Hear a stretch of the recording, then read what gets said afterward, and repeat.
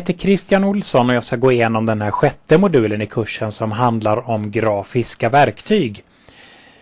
Det grafiska verktyget vi kommer att gå igenom idag heter Dreamweaver och eh, tillverkas numera av ett företag som heter Adobe. Att använda sig av ett grafiskt verktyg för att framställa sina webbsidor kommer att ha många stora fördelar. Det kommer vi att se senare idag.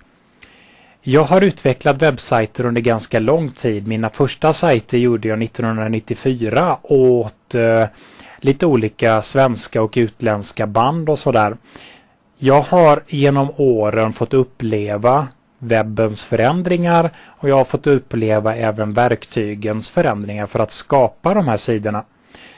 Det är ingen tvekan om att utvecklingen på webbfronten går otroligt fort och det är skönt att eh, verktygen man använder för att skapa webbsajter med hänger med i lika snabb takt. Jag tänkte vi skulle ta och börja och titta lite grann på eh, historiken och eh, meningen med grafiska verktyg så vi sätter igång nu.